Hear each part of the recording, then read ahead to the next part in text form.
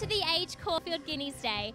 I'm Maggie Whish, and today we'll be taking you to see all the fun, colour, and excitement here at Caulfield. We'll head into the Fashion and Entertainment Precinct, where we'll chat to the Chadstone Fashion Stakes winners. We'll see who's out and about in the new boulevard, and of course, we're going to be talking backstage to Sneaky Sound System. That's all happening here at Caulfield, so stay tuned. Hello, I'm Katie Murphy, and I'm here today with Jenny Beard, the winner of the Stylish Ladies Fashion Stakes at Caulfield. Jenny, would you like to tell us a bit about your outfit? Uh, yes, I made the outfit myself. Uh, inspiration came from a lovely old book I have of a uh, Lillian design. So I did a bit of tweaking and copying and uh, came up with this. Would you like to give us some of your tips for race wear, perhaps a couple of do's and don'ts? What's your key piece of advice for this year? Well, my what works for me is I never follow the trends.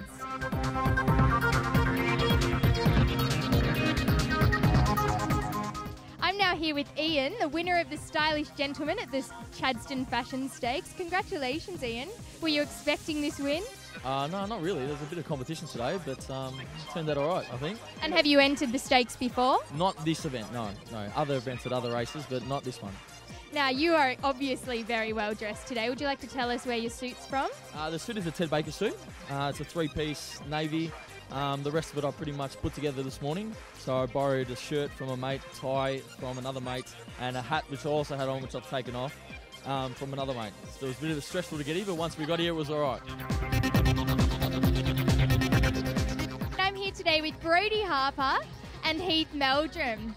And we've been very lucky today. The weather's just cleared up perfectly. How have you two been enjoying the day so far? We've had a wonderful day so far. It's been a privilege to get to see Black Caviar race. And It's just a really nice, relaxing day. I actually really like Guineas Day. It's a, it's a little bit more relaxed, a bit more laid back. Um, yeah, it's really good. What everyone would like to know is where your outfits are from because you just look gorgeous and you're both, there's a bit of matching and it looks fantastic. I don't know about matching, but um, we're both bright. This is a Michelangelo dress. It just reminded me of a licorice all sort. And the hat is Rebecca Share. So it's quite a new um, milliner. She does beautiful things. So that's what I have on. And uh, and this is uh, self-designed suit. So this is one of my own. Yes, my own. Uh, and then shirt and tie from Hugo Boss. Uh, yeah.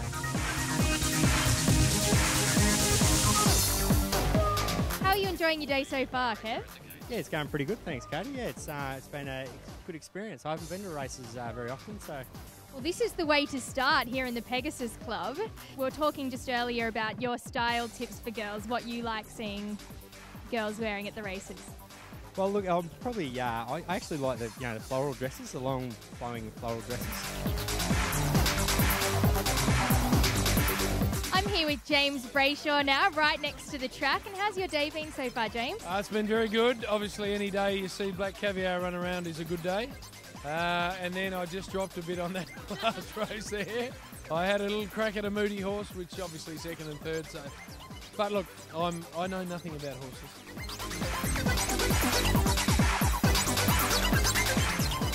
I'm here with the three daily finalists from the Chadstone Fashion Stakes. Here we've got Joe, Cecilia, and Laura in their beautiful outfits, and I'm going to ask them a little about where they got their inspiration today.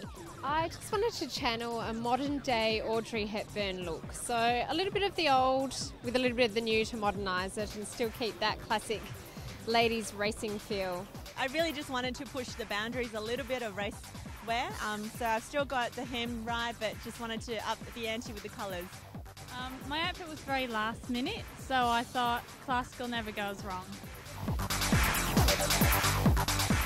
I'm very lucky to be backstage here with Connie and Angus from Sneaky Sound System, who'll be performing later today at Caulfield. Now, tell us a little bit about your new album. Oh my god, well, it came out yesterday, which we're really excited about. You have to go and buy it because it is amazing. And what should we expect from you in the performance coming up? Oh my god, like the best one ever. Is she going to pull out some crazy dance moves? I would suspect so. Mm.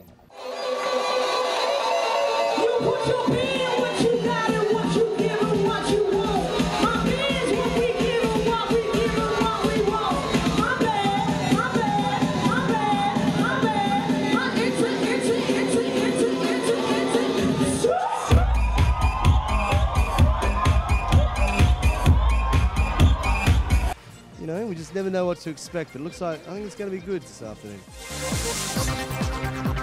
As you can see, it really is all happening here at Caulfield today. We've hung out with some really cool people, seen some incredible fashions and the horses. So I hope you've enjoyed our fashion and entertainment webisode because there really is nothing else like the spring racing carnival here at Caulfield. I'm Katie Murphy and I hope to see you here again soon.